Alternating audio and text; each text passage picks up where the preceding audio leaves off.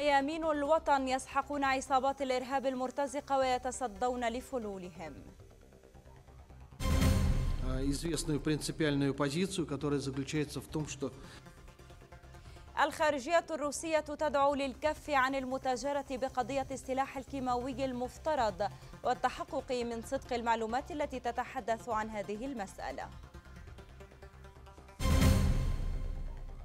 والقوات المسلحة المصرية تعد لهجوم واسع على الإرهابيين في شبه جزيرة سيناء.